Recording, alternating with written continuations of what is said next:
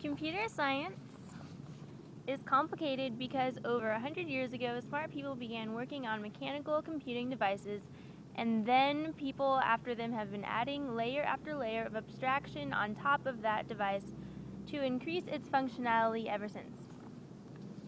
And computers have transitioned from using mechanical movement to using electrons and light, which most of us are less familiar thinking about. So this is my poorly drawn Babbage um, analytical engine. Totally Google that if you actually want to see what it looks like. I just drew gears after attempting.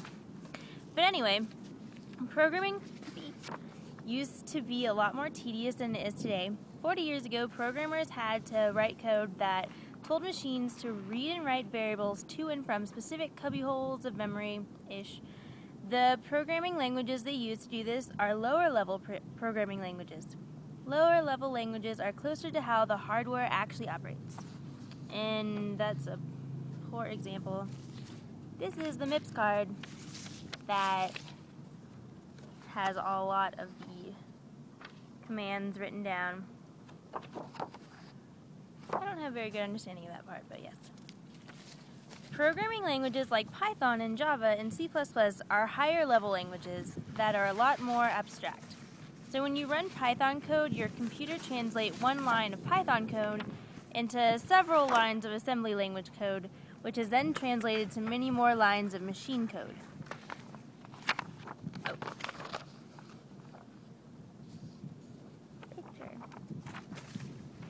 Machine code is normally represented using zeros and ones, which are two arbitrary symbols of on and off.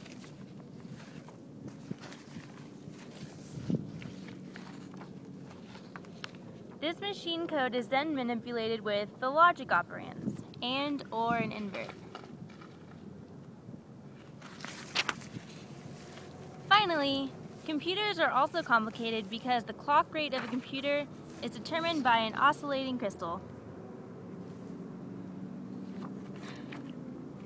I hope you learned something that you didn't know you didn't know.